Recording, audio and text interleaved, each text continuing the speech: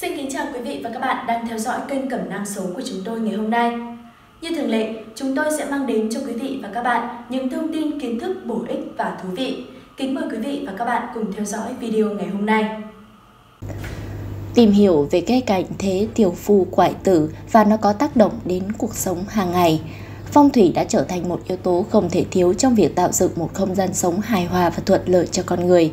Trong lĩnh vực này, cây cảnh đóng một vai trò quan trọng và cây cảnh thế tiểu phu quải tử đã trở thành một trong những biểu tượng phong thủy đáng chú ý. Với vẻ đẹp thẩm mỹ và ý nghĩa sâu sắc, cây cảnh thế tiểu phu quải tử mang đến sự thịnh vượng, may mắn và hạnh phúc cho không gian sống. Bài viết này sẽ tìm hiểu ý nghĩa phong thủy của cây cảnh thế tiểu phu quải tử và cách nó tác động đến cuộc sống của chúng ta. Một trong những ý nghĩa quan trọng nhất là cây cảnh thế tiểu phu quải tử mang lại sự giàu có. Theo quan niệm phong thủy, cây này có khả năng thu hút và giữ lại năng lượng tài lộc cho không gian sống.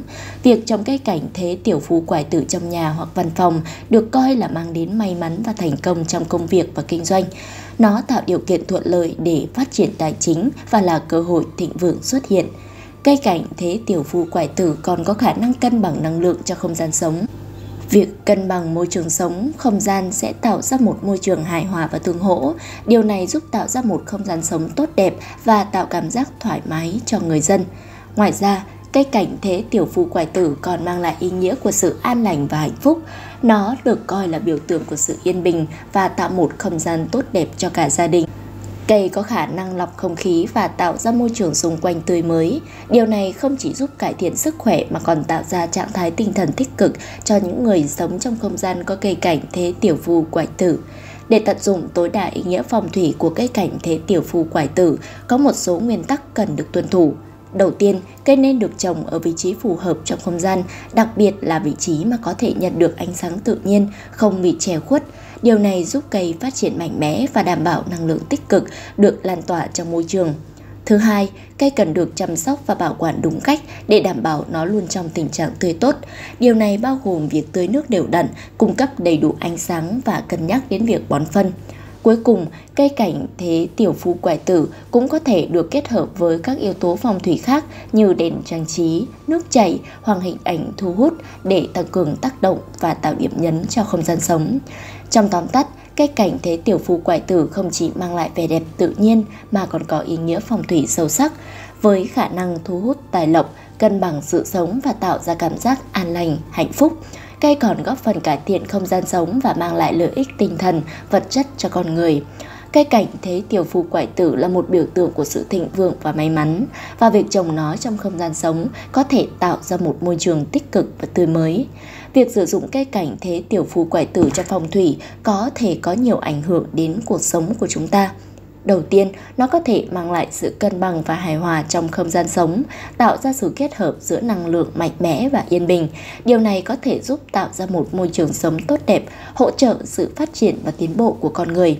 Thứ hai, cây cảnh thế tiểu phu quải tử có khả năng thu hút và giữ lại tài lộc. Nó được xem như là một biểu tượng của sự giàu sang và thành công. Việc trồng cây này trong nhà tạo ra một nguồn năng lượng tích cực và thuận lợi để kinh doanh đạt được thành công trong công việc.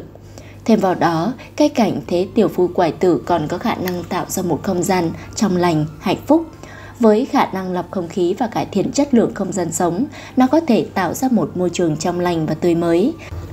Điều này có thể giúp cải thiện sức khỏe và trạng thái tinh thần của con người, tạo ra một không gian sống thoải mái và đáng sống. Để tận dụng tối đa ý nghĩa phong thủy của cây cảnh thế tiểu phu quải tử, cần chú ý một số yếu tố sau.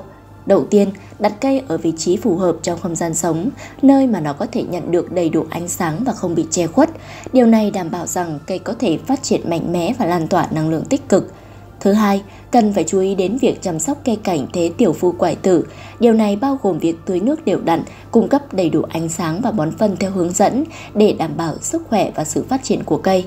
Ngoài ra, cây cũng cần được chăm sóc và làm sạch để loại bỏ bất kỳ lá hoặc cành khô. Bên cạnh việc chú trọng trong việc chăm sóc cây, kết hợp cây cảnh thế tiểu phù quải tử với các yếu tố phòng thủy khác cũng có thể tăng cường hiệu quả của nó.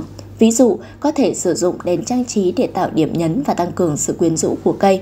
Ngoài ra, nước chảy hoặc hình ảnh mang tính thu hút cũng có thể sử dụng để tăng cường tác động của cây thế tiểu phù quải tử và tạo ra một không gian sống phù hợp với nguyên tắc phòng thủy.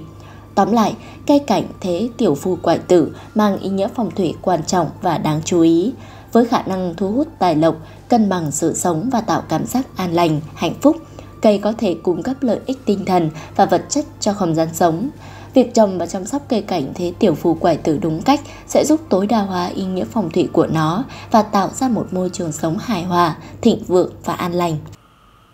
Cảm ơn quý vị và các bạn đã quan tâm theo dõi video ngày hôm nay của chúng tôi. Mong rằng những chia sẻ trên sẽ giúp ích được nhiều cho quý vị và các bạn.